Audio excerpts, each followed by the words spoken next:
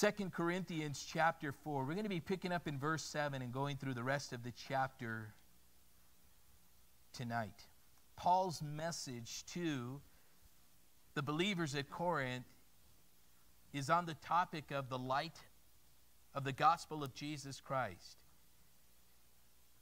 And Paul then continues on this same understanding in verse 6 as he talks in reminding them that they have a ministry that has been given to them, given to them by God the Father. This is the ministry that, that Paul here is expressing to the believers at Corinth. And because this ministry was given to them, that they received, he says, as this process, they've received mercy. The ministry has been given because of God's mercy. Service. That's the idea behind the word ministry here. And so, what we see here, because of this glorious new covenant, this, this ministry has a couple of things that come with it. Number one, that he highlights here, just at the start of verse 1, is he says, We do not lose heart. It's one of the things that comes with ministry that everything, through what some would consider perhaps maybe discouragement at times and difficulties in ministry, Paul reminds the believers to never quit. To never quit. And perhaps maybe this proposed thought or idea ultimately from the Lord, but encouraging them that no matter how tough things get, to retreat is not an option. And he says, Listen, we have experienced the grace, the mercy of God by the very truth of God because the gospel has been revealed rather than veiled, but revealed. And to those that it is veiled, it's those who are perishing, is what he's saying. And the only reason why they're perishing is Paul says it's because of deception. Verse 4, he says, Whose minds the God of this age has blinded, who do not believe.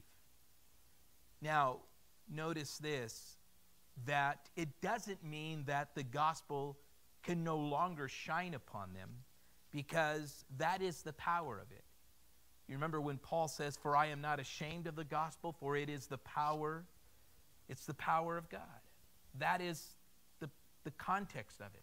It's God's power. And you and I, as believers, just like these here in Corinth, Paul is saying, Hey, listen, never quit because you might feel weak.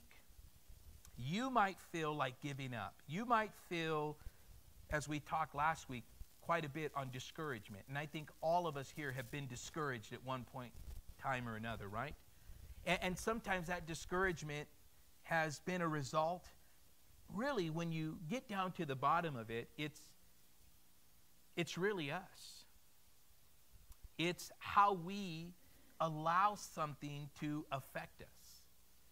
But if we trust in the strength that God has given us and clearly um, probably have a better understanding where certain things have come from or how certain things have materialized, then we can free ourselves from walking through discouragement and understanding that there is a battle.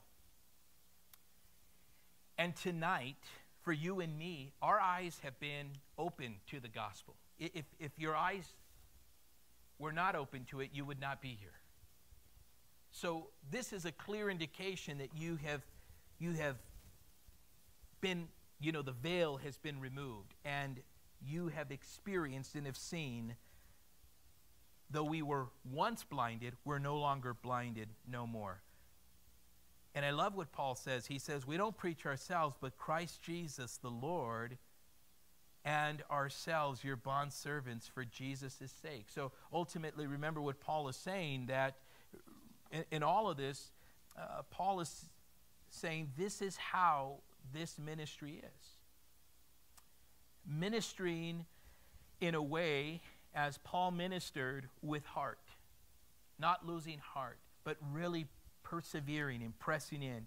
And then he says here with forthrightness, not with, not with cunning words, you know, not with deceptive means, what he says. And then in verse 3, he says with perception, understanding that, you know, we, we are dealing with unregenerate people. And how they become that way and why they are that way, because whose minds the God of this age has blinded. And then he says, This is what we're to do. In the midst of this age, exalt Christ. And then he goes on to say here, for us to have this confidence in who the Lord is. Uh, this, this picture of having this, this confidence is really important. He says, For it is the God, listen to this, who commanded light to shine out of darkness. Well, when did that happen? Genesis chapter 1 and verse 3. When God spoke, he, he spoke, he said, Let there be light.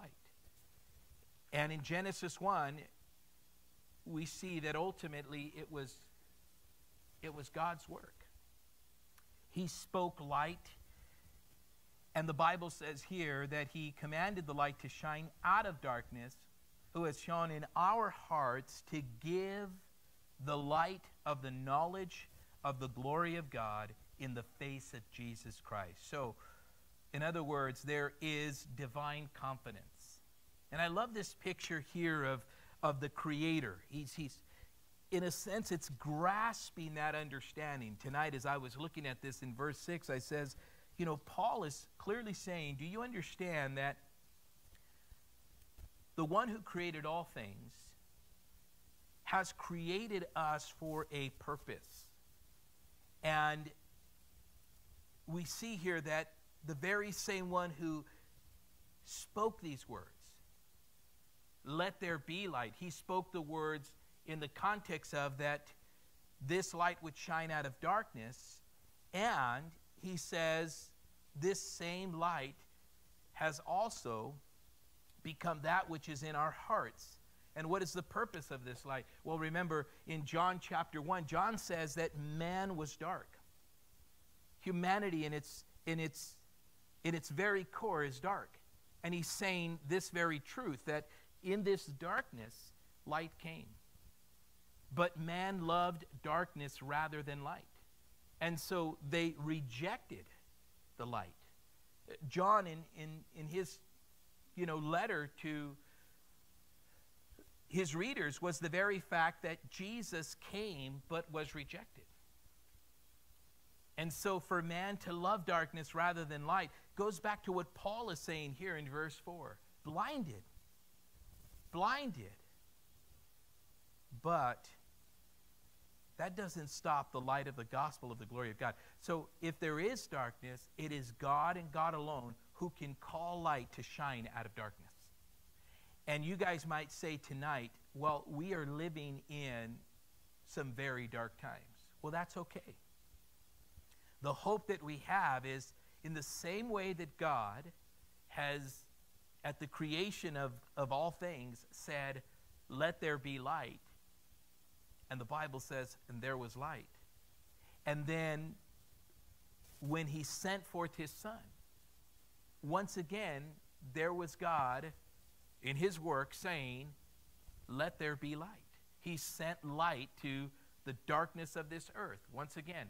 And he's saying today, he sends out the church to be that light bearer in the same way that the Father spoke creation into existence and spoke forth his Son to come to this earth.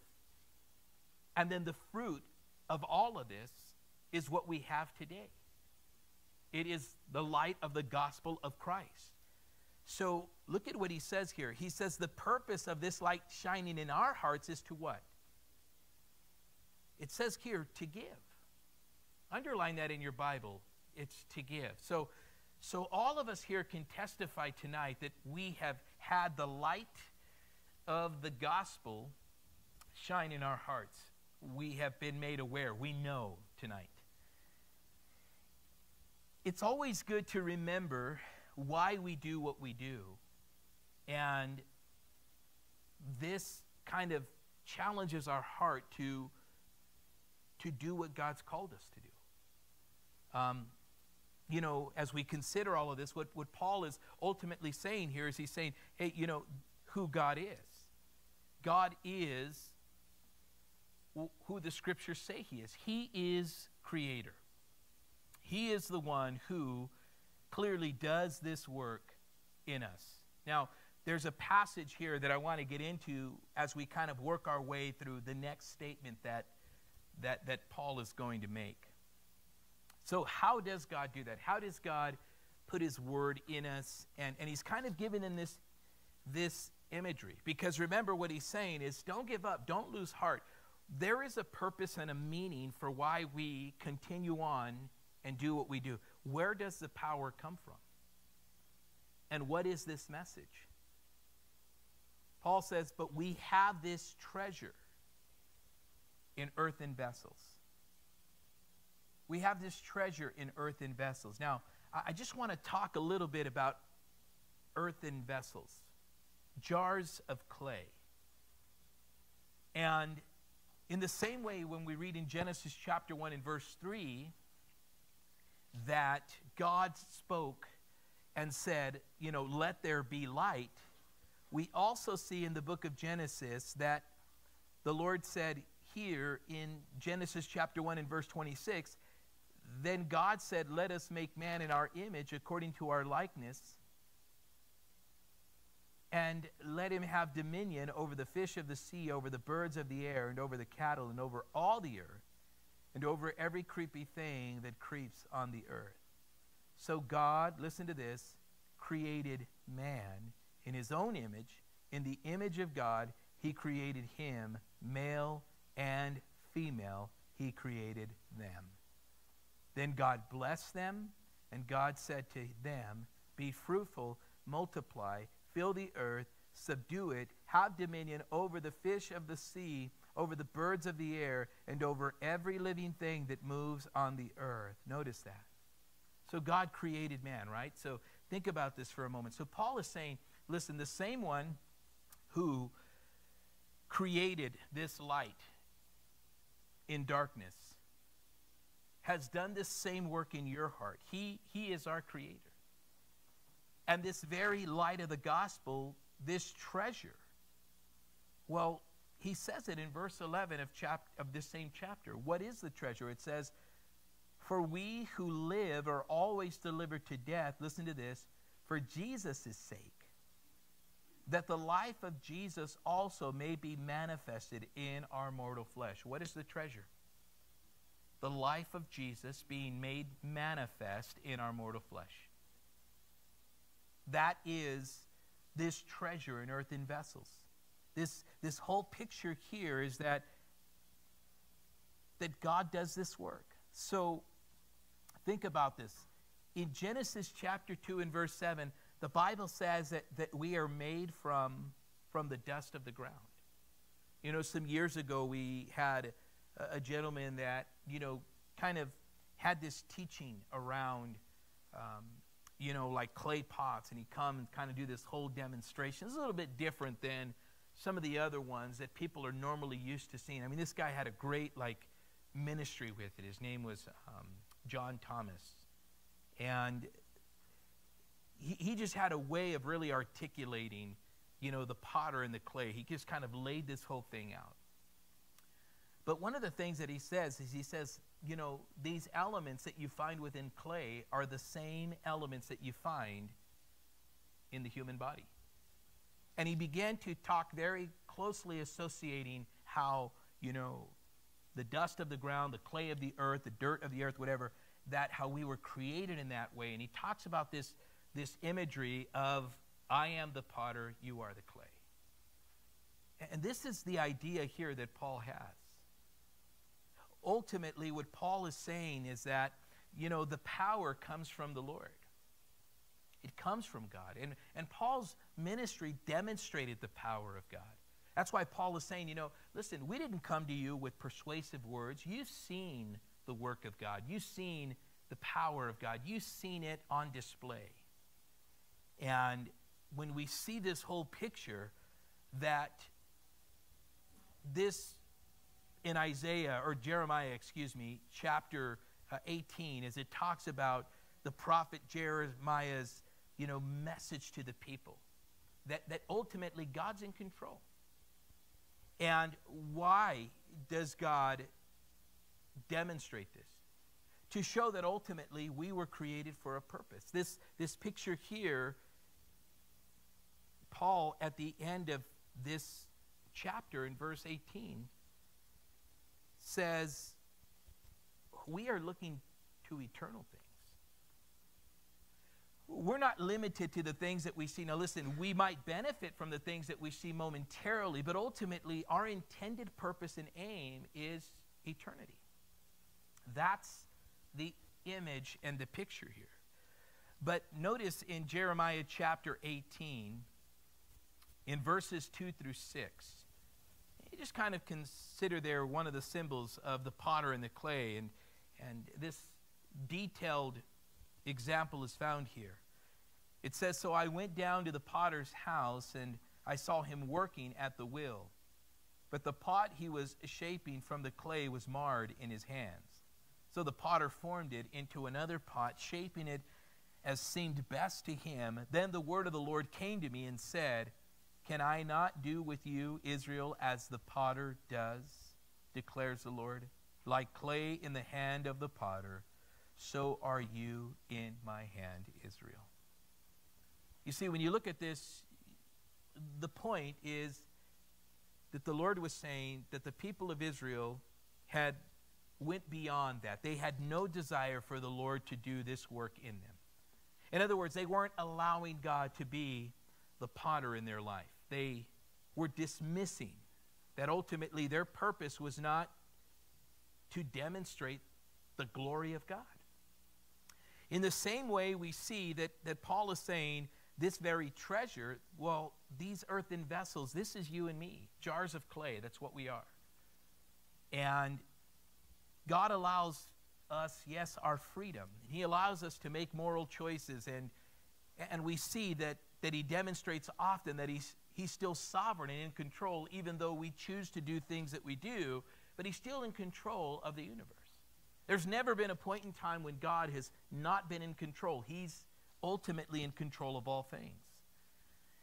And he does whatever he wills with his creation. Now, remember what the psalmist says in Psalm 135, and I'm reading from the ESV. It says, Whatever the Lord pleases, he does in heaven and on earth, in the sea and all the deeps. Whatever he pleases to do. In Psalm 150, he kind of goes on in this encouragement here um, as, as it's speaking in regards to who the Lord is. To praise the Lord in the mighty heavens and praise him for his mighty deeds. And verse 2 of Psalm 150 goes on to say, Praise him according to his excellent greatness. That reminder of praising God. Why? Because he is over all, he's sovereign. The, the entirety of that chapter reveals and reminds us of that. Remember what Daniel said in chapter 4 and verse 35? It says, All the inhabitants of the earth are accounted as nothing, and he does according to his will among the host of heaven and among the inhabitants of the earth, and none can stay his hand or say to him, What have you done?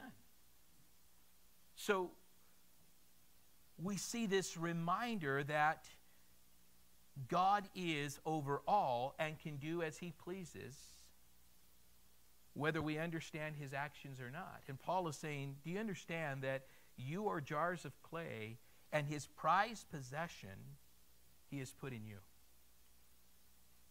Why? Because he's sovereign over all. He owes us nothing. Listen to this. He owes us nothing, yet he chooses to extend to us not only this treasure, but the utmost patience and kindness and compassion. And, and you know, if Jeremiah's message would have been listened to before, they would have heard this prior to this sermon that he gave them. In chapter 9 of Jeremiah, in verse 24, it says, But let him who boasts boast in this, that he understands and knows me, that I am the Lord, who practices steadfast love, justice, and righteousness in the earth, for in these things I delight, declares the Lord.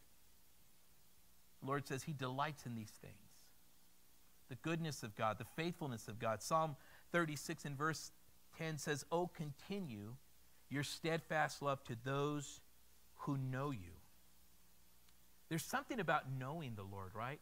Where, where, Paul is saying here in chapter 4, in verse 4, 2 Corinthians 4 4, he's saying those who have been blinded by the God of this age are at a disadvantage. There's something that we see throughout these verses, time and time again, understanding that, that the Lord clearly delights in his work that he does in us. And that, in a sense, you can say that, that even though we know that we are created of dust, that we are clay pots, I mean, this is what, remember what Job said in chapter 10 and verse 9. He's just like, hey, this is just what we are before God. The Bible says in Psalm 103 and verse 14 that, that God knows our frame. He knows our frame. And there is that reminder that God gives grace to the humble. Understanding who we are, ultimately, these earthen vessels, these jars of clay, well, it's really the potter working with clay that reminds us that, that it's God who works in us for his good pleasure. His good pleasure. Philippians 2:13. In Isaiah 45, in verse 9, it says, Woe to those who quarrel with their maker, those who are nothing but pot, uh, potsherds among the potsherds on the ground. Does the clay say to the potter, What are you making? Does your work say to the, the potter has no hands? Of course not. I mean, I mean, who can say this, right? And it's always good for us to understand that when we look at this, God has created us the way He wants us. And maybe that is the reminder that, you know, God wants us to be, desires for us to be, works this way in us so that we can be. In other words, we're not like this, you know, thing where God is, you know, doing a, uh, you know, what they say, trial and error, right? You're not an experiment. You're a work of God. And this is what Paul is saying. He says, We have this treasure in earthen vessels, that the excellence of the power may be of God and not of us. The privilege. And this is how we are able to, Paul says, not quit or give up. Understand that God knows our frame. So, in a sense, you can say, because he will talk about being persecuted and, and what he's saying here is that for us, though we are cast down, we will not be conquered. So he's reminding them remember who the Lord is. The Lord your God is your creator. And it's our responsibility, yours and mine, to take what he's given us and to use it for his glory. That's, that's really the picture of, of what of what Paul is saying here. And to use it for his glory and pleasure. And in doing this, we find, all of us here, find our ultimate fulfillment. What, what is your ultimate fulfillment? I mean, really think about this here. What Paul is expressing here in chapter 4 is his ultimate fulfillment comes from doing what God created him to do. Like he is the creator of all things, he has created for us here, as Paul speaking to them, He's created for us, the Corinthian church, to be bearers of the light of Christ's gospel and not to deviate from this, regardless of what others are saying. Paul says, listen, they are not the originators, they are not the creators. God is. What we have is from the Lord, not from the traditions of men, not from persuasive words or deceitfully or manifestations. Listen to this of these types of things. No, he's saying this has nothing to do with hidden things of shame. We're not walking in craftiness or handling the word of God deceitfully, but by manifestations in truth. He says, listen, this is, this is a God thing that's happening.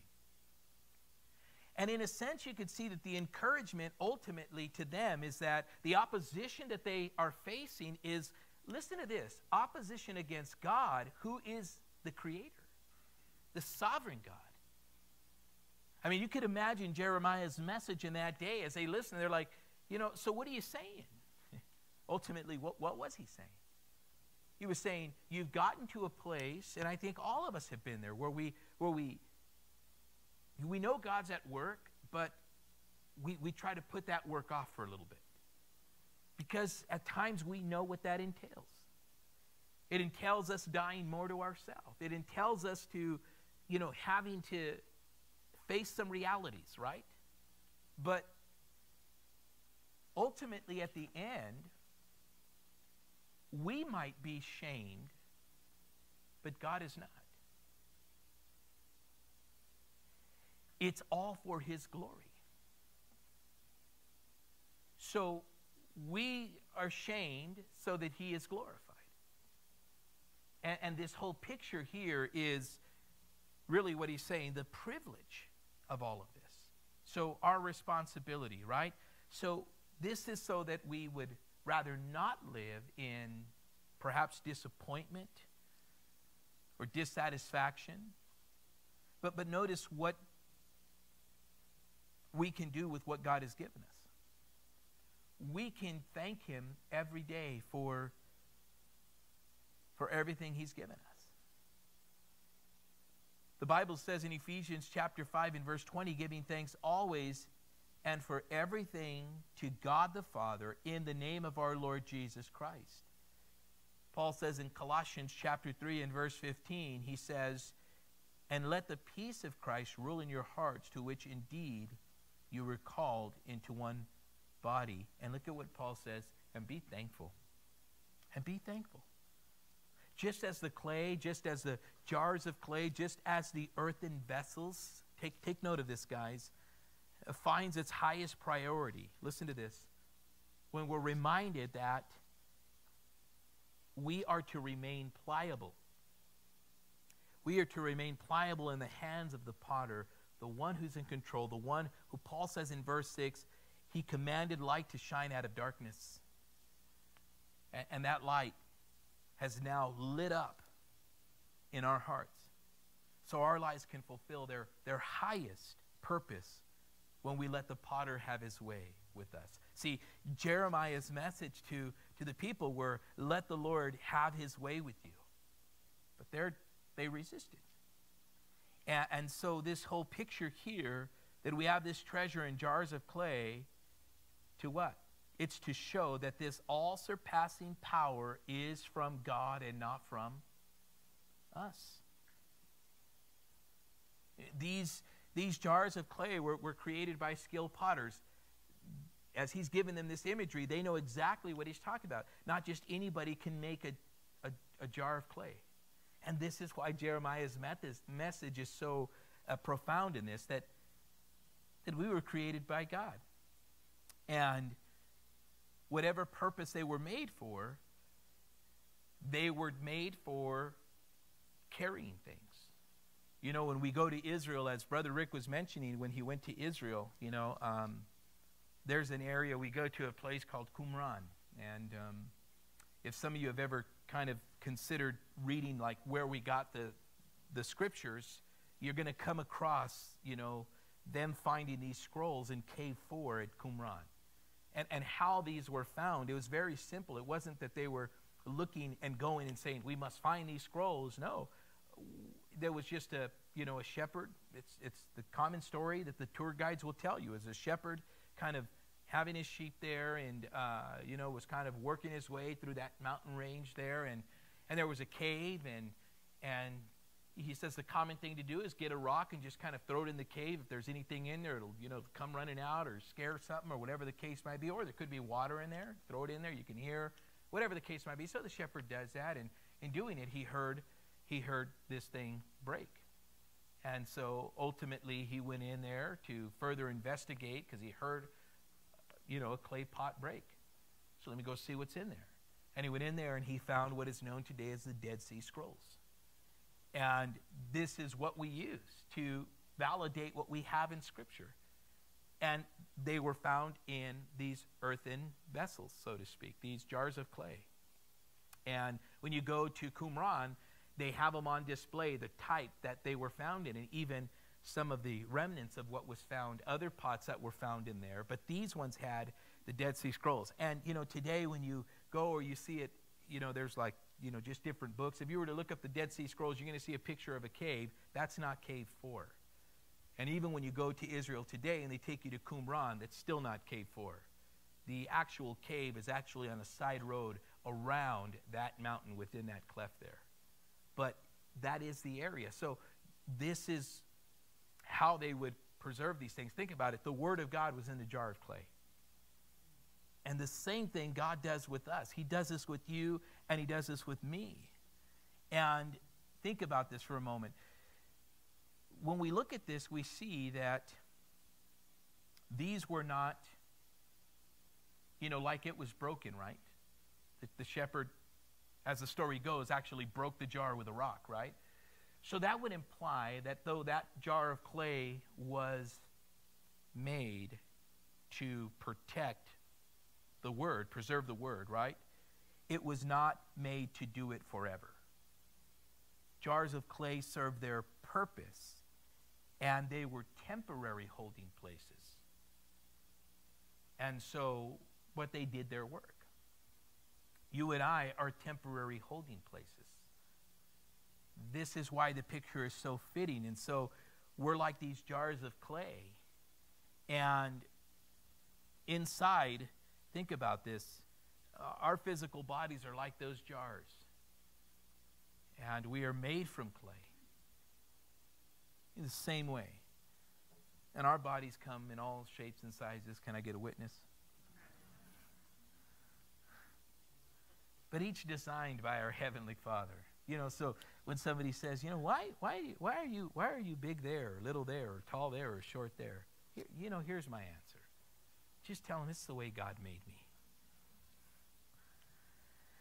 But all of it was for whatever purpose the potter desired. So when a potter would make pots, he would make all different shapes and sizes for different purposes. And that's what God does for us. We all have different callings and different ministries and different uses, ultimately for the same purpose. And this is what the Lord does.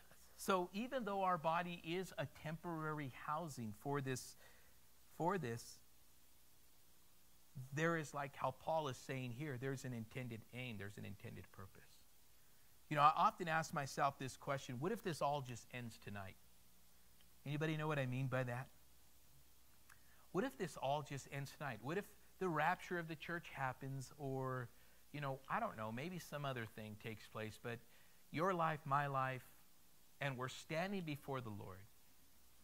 You know, in a sense, we know for those whose lives are in Christ, you know, and you know, people have all these different, you know, views of, you know, if you're doing this much, then you're in. If you're not doing this much, you know, listen, it's not by what we do, it's by what Christ has done. But but here's the point. We all are going to hear those words, well done. That means that our jar of clay is no longer useful for its purpose that it was created for for here. So, you know, when we're going and we're doing these you know, funeral services. Boy, did I do over 30 some funerals last year. And I would say on several occasions, if I knew the people really well and it was a Christian, you know, service to glorify the Lord, I always say, this is just a shell. This loved one that you've that you've grown to know for all these years, it's just the shell. It's it's the jar of clay. And what's with the Lord is who God knew. You knew the shell, God knew the real person. God knew the soul, and they're with the Lord, and they're in eternity, and they're worshiping Him. And one day this shell is going to be reunited with, with this soul because that's what 1 Thessalonians 4.17 is all about. That this corruption, as Paul says in 1 Corinthians 15, will take on incorruption. This mortal will take on immortality and that resurrection. And it's all going back to that very thing one day these jars of clay, as we just read in, you know, Jeremiah, he says, hey, listen, should you not be pliable? Should you not be? Israel was like, no, well, the day is going to come when we will be because this mortal is going to take on immortality. And we should always be, whether it's for the work of the ministry or for, listen to this, our glorification. It's going to it's going to work. So ultimately, these jars of clay are created for earth's purpose. And think about this. So in verse 4, this whole thing of the light of the gospel of the glory of Christ, this is this very thing. That we are housing places for this treasure that God has given us. And that's it right there the light of the gospel, the glory of Christ. And the knowledge of the gospel is a rich truth that is still to this day transforming lives. So God's entrusted us with that. And, and if He does, this treasure that we proclaim is an enduring treasure. It's not something that fades away, it's something that continues to, to do what needs to be done. 2 Peter chapter 1 verse 3 listen to this 2 Peter chapter 1 verse 3 it says his divine power has granted to us all things that pertain to life and godliness through the knowledge of him who called us to his own glory and excellence his divine power has granted to us all things that pertain to life and godliness. Now, we're living life right now, aren't we? We're alive. We're breathing, right? Uh, we have a routine that we are facing. Maybe tomorrow you get up, you're going to go to work, you're going to do whatever you're going to do, finish the rest of your week, whatever your week looks like. So there is a life that we're living. Well, listen to this. Paul here is saying, don't give up. You still got to live life and live it to the fullest for the glory of God, not for the purpose of selfish ambitions or endeavors. But He's given us everything that pertains to life and godliness through the knowledge of Him who's called us to His own glory and excellence. So we can be encouraged and reminded, just like he was saying here in verse 6 For it is God who commanded light to shine out of darkness, and, and this has now become this light that has now shined in our hearts. We, we, we've experienced this. And so, it's a privilege. I don't know how some of you see it, but truly it is a privilege to hold this knowledge of our Creator through His Son, Jesus Christ. It's a privilege for you and me to, to be able to do this. This is, remember what Jesus is saying in John chapter 14 and verse 26, because, you know, Peter's saying, hey, he's given you all that you need. Jesus says in John 14, 26, but the Helper, the Holy Spirit, whom the Father will send in my name, he will teach you all things and bring to your remembrance all that I have said to you. You and I were destined to perdition. We were dead in our sins and destined for destruction, right? But, but God made a way for us to, to, to have a new life. And this is that work that He did. So, our physical body, these, these jars of clay, He's, he's made new. We're no longer who we used to be. That, that passage that we always quote, therefore, if anyone is in Christ, he is a new creation. The old is passed away. Behold, the new has come. So, this is an awesome thing because God also in, extends an invitation for whosoever will, whosoever desires to come. Even in these earthly bodies, He's saying, Come. And in this relationship with the Lord, He then gives us the greatest treasure any earthly vessel can hold. And He's saying here, very clearly here, that the Lord has given us this treasure in earthen vessels. That the excellency, or the excellence, excuse me, of the power may be of God and not of us. So, God's plan, and I think this is noteworthy, God's plan is to put extraordinary, heavenly treasures into ordinary earthen vessels. For what purpose? So that the attention will go to the content rather than the container. That's the picture of it right there. So that the glory can go to the content rather than the container. See, it's not the jar of clay, it is this treasure within this jar of clay. And so, when we are born anew in Christ, spiritually, every single one of us, we will obtain, of course, still in this body of flesh, but, but we now can be this jar of clay that the Lord is saying, Here, go now and take this message. Still living in, in the framework of ordinary human lives, but for the glory of God. So, what does this look like as we live this out? Now we know we got this, but we say, yeah, this is exciting, we have it, but boy, there's a lot that comes with it. Well, here's something to consider. So, remember what the Lord said in Acts chapter 9 and verse 15. He said concerning Paul, he said Paul was his chosen vessel. He's talking about this here, this, this earthen vessel. He says, Paul is my earth, a chosen earthen vessel. So his structure, his structure, his frame, who he is, is in the hands of the Lord. Psalm 139 in verses we see here, uh, you know, verses 13 through 16. But prepared for good works. This is the whole thing about it. Remember in 2 Timothy chapter 2, this whole message was, you know, vessels of honor rather than vessels of what?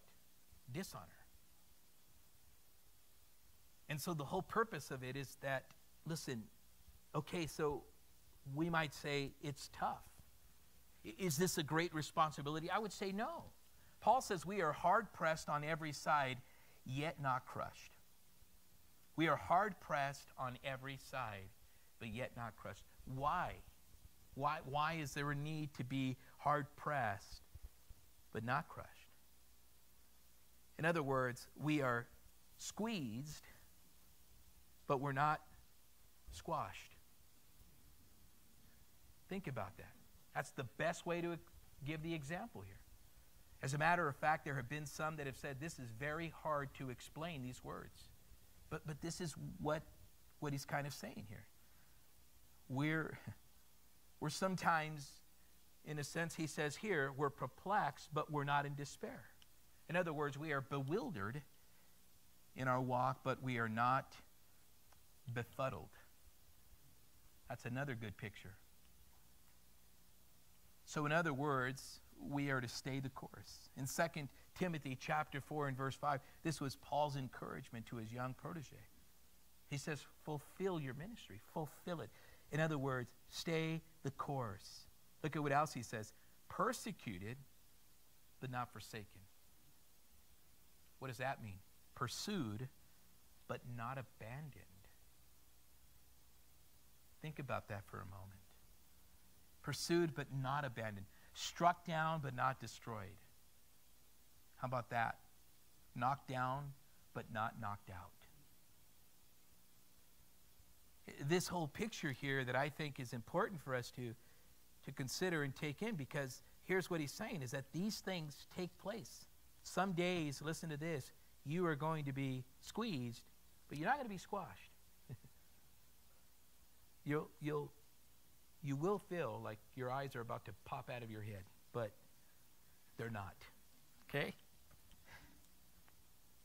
L- listen, you're going to feel hard pressed, but not crushed, perplexed, but not in despair, persecuted, but not forsaken, struck down, but not destroyed.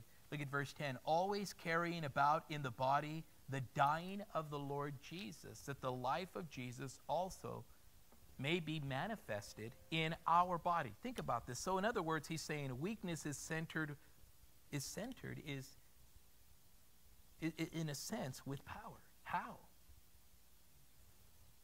It reminds us when Paul says, When I am weak, he is. So his strength is perfected in my weakness. Always caring about in the body, the dying of the Lord Jesus, that the life of Jesus may also be manifested. So, in other words, God's power, Jesus' death and resurrection, do you know it's manifested in our body? You know, this is why at times, you know, we, we have to be merciful when we do see some crush under the pressure of being hard pressed. You know, we, we have to show mercy. We have to show, you know, a process of restoration and bringing people back into the fold. That's always been one of the staples of, of our ministry. You know, we, we might not be like, like, like other churches, and that's okay. I'm not trying to. But I, I want to do what God's called us to do. And I'll never, ever, ever forget a story I heard years ago. And it was, it was you know, spoken in regards to, you know, at times we live in this in this body of flesh and we are hit from every side. Whether it's persecution because the church is going through a time of that or great spiritual warfare or we're just battling the day-to-day adversities in life. You know that it's all a battle. And at some point and in some way you and I will experience on a day to day the battle that is spiritual and that is so great.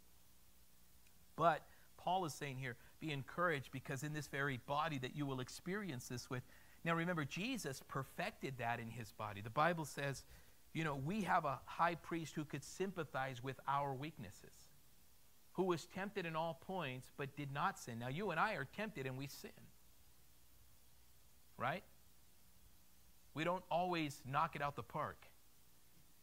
We fall short. Then what we do is we appeal to the graces and the mercies of God. And then we say, okay, God, forgive me. And, you know, these processes are important. I believe that, that with this, this is the hope that we give the world. Remember, in chapter 2, just a couple of chapters before, what was, what was Paul's word to the ones that listened to him to deal with the man in sin in the church? in 1 Corinthians 5, he says, you got to kick this guy out. Not because they are to get joy in kicking him out. No, the whole point was he's saying, listen, if you allow this to continue, this little leaven is going to leaven the whole lump. And from the picture here, they were deceived. Paul says, where, where did you think that this was okay? But remember, there was opposition. There was already other stuff being spoken into their ear. And they thought they were doing something good. They were saying, well, you know, we're just, we're just going to love on him. Paul says, you're, you're puffed up with your, with your love.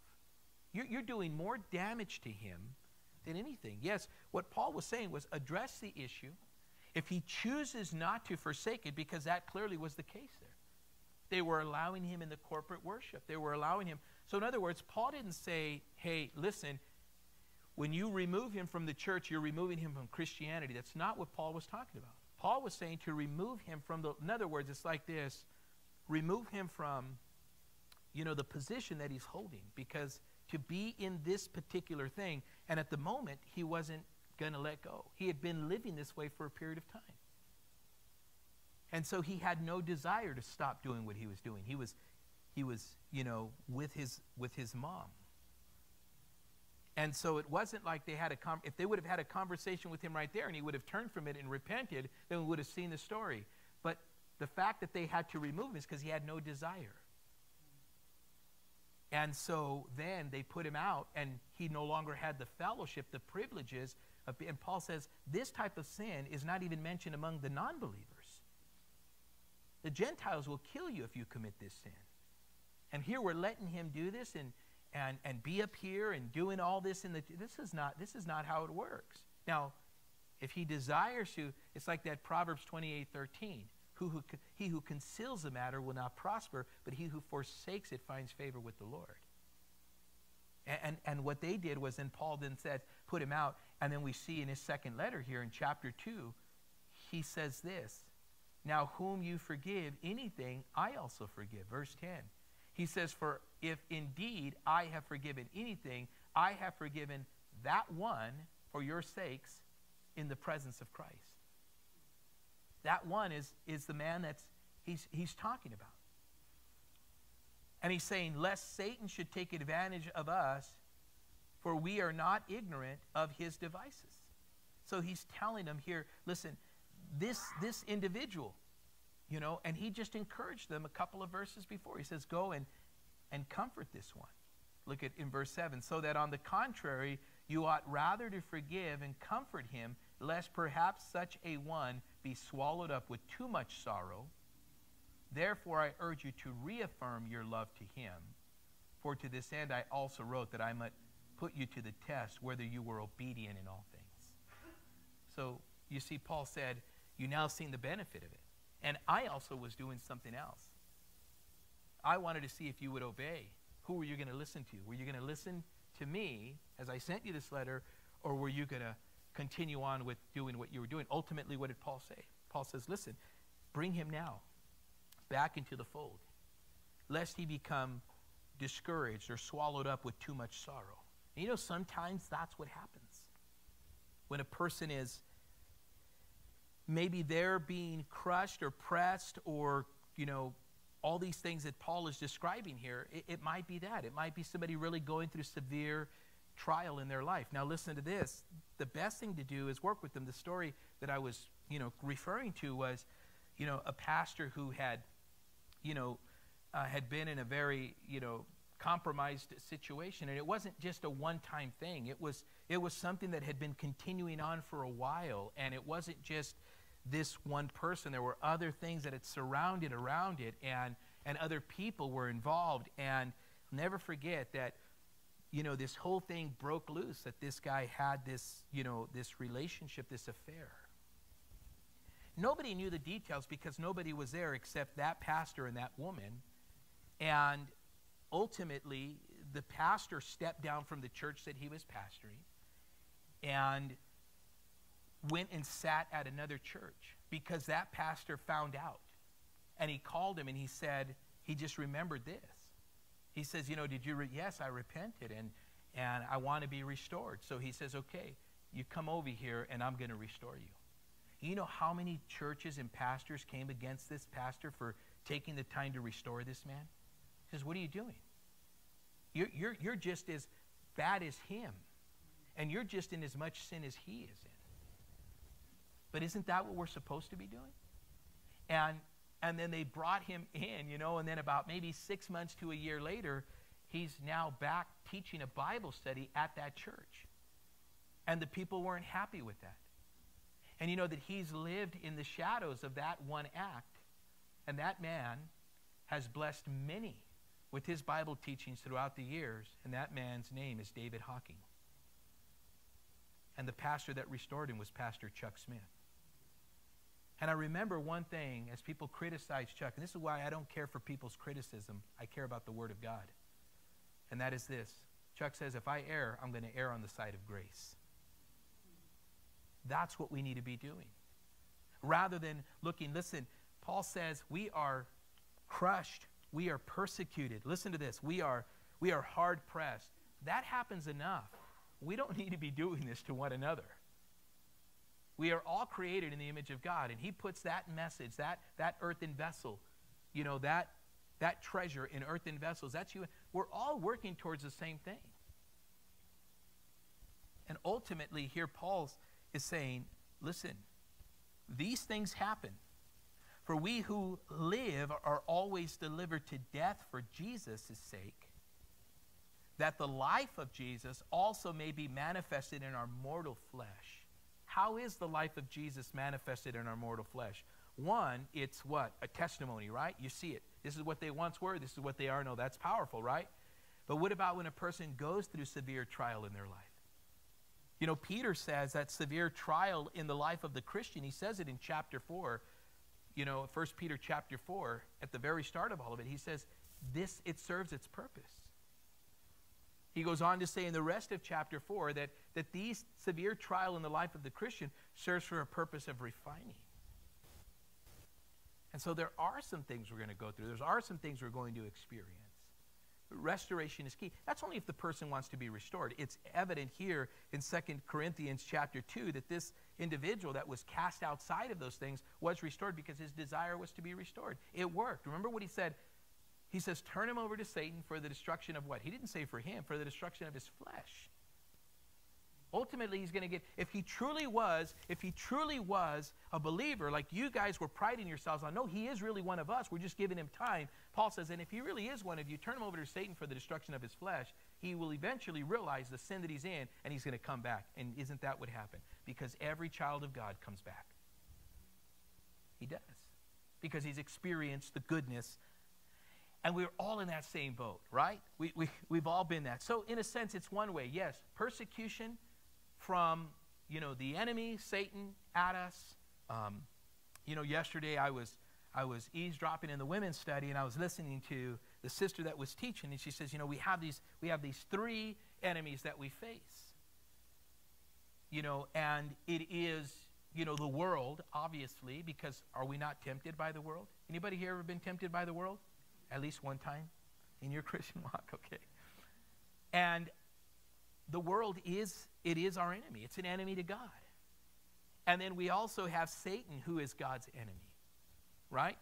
And we know that that battle has been going on since before we were even around. But it is a battle that's raging, right? It's it's constantly going. And the world is the battle that we see every day that the church is living in the midst of this fallen world. But then we also have the flesh.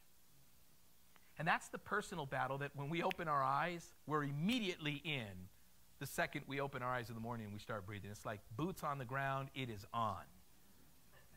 And this is why this reminder here is listen, whether you are feeling this from, you know, being persecuted as a Christian, and, and I would say that temptation from the world and the flesh is also persecution to the church. You're the church, I'm the church. And it's going to be the means by which Satan will try to disrupt God's work but he's saying, hey, listen, when all these things take place, know this that when these things do happen, it's for the purpose of what? The life of Jesus may be manifested in our mortal flesh. I, I love that. So, Paul's weakness, listen to this, made room for the power of God. How many are weak tonight? Okay, so you're in the company of many weak people. Our weakness makes room for God's power. And isn't that what this all is? So look at that. Now, so then, death is working in us, but life in you. I love that. He, he says, you know, yeah, our lives have been put on the line. But who's benefited from this? Paul says, you guys have. He says, Death is working in us, but you now have a relationship with the Lord God. So, so Christ Himself is the treasure. And so, this whole picture here that we see um, clearly demonstrates a couple of things. That God Himself, the call of God is that Christ would come and dwell and be extra- expressed through these earthen vessels, you and me. And since we have the same spirit of faith, according to what is written, he says, I believe, and therefore I spoke. We also believe, and therefore speak. And notice that Paul here is quoting um, from David's writing he's quoting from the sweet psalmist of Israel. In Psalm 116, in verse 10, what is he saying here? Well, what Paul is saying, in one sense, we're delivered by God. David is saying, in the same context, that he was delivered by God, both delivered by God. In other words, he's saying, I have a, a kindred heart to David. Talk about David's life. Paul was that's two types of uh, trial in their life, right? David brought a lot of it on himself, did he not? But we see God's grace in the midst of that. Because what did David do? Did he quit? No, he didn't. And the enemy, for, for any of us, that if we would have committed any of the sins that David committed, we would have quit. That's what the enemy wants you to do. He wants you to think that God can't forgive that, but He can. He's, he's God, He's the one that does it, right? Knowing that He who raised up the Lord Jesus will also raise us up with Jesus and will present us with you. So God clearly is reminding us through His word here that we can rest assured that in the same way that Christ was raised, you and I can be raised. I'm thankful that the Lord raises us up regularly. He raises us up regularly. For all things are for your, listen to this, or excuse me. He says here, knowing that he who raised up the Lord Jesus will also raise us up with Jesus and will present us with you, for all things are for your sakes, that the grace, having spread through the many, may cause thanksgiving to abound to the glory of God. So this implies growth, this abundant grace that we see in the original King James. It says abundant grace. So God has called us to invest and to increase the treasure, not just guard it. Invest in it, increase in it. And he says, Therefore, we do not lose heart. There it is once again. We do not lose heart. We do not give up. This ministry that God gave, listen to this. God the triumphant Son is what he talks about in chapter 2 and verse 14, right? Through the glorious Spirit in chapter 3 and verse 18, by the power of God the Father, here that he just implies in chapter 4 and verse 7. See, Paul understood this. This was the very thing that, that encouraged Paul. It, it put Paul in this ease and understanding this is what it's all about. So this encouraged Paul in everything that he did. He says here, therefore, we do not lose heart, even though our outward man is perishing, yet the inward man is being renewed day by day. Look at that. The outward man is perishing. Paul's life was ministry beaten. Okay? But he says, listen, and he wasn't an old man. He, he wasn't an old man. He's just saying that, that this outward man, it, it is perishing. But are we living for the outward man? No, we're living for eternal things. And that's why he says the inward is being renewed day by day. For our light, look at what he calls it our light affliction. Wow. In other words, he's saying these, these trials, this whole thing, listen to this, it's light to carry, which is but for, listen to this, a moment. For the purpose of what? To, to transform us and to renew us. It's a process. This is what Peter was saying in 1 Peter 4, guys. For our light affliction, which is but for a moment, is working for us a far more exceeding and eternal weight of glory. So, what is in view here? Eternity. While we do not look at the things which are seen, but at the things which are not seen, for the things which are seen are temporary, but the things which are not seen are eternal. The heavenly destiny was in view. And he's like, Heaven's in view. Listen, tonight you might be hard pressed on every side, yet you're not crushed. You might be perplexed, but you're not in despair. You might be persecuted, but guess what? You will not be forsaken. Struck down, but you will not be destroyed because he is the potter, you are the clay. And he put his treasure in earthen vessels so that the life of Jesus will be made manifested in our, I love how he puts it, mortal flesh. Not immortal, mortal flesh.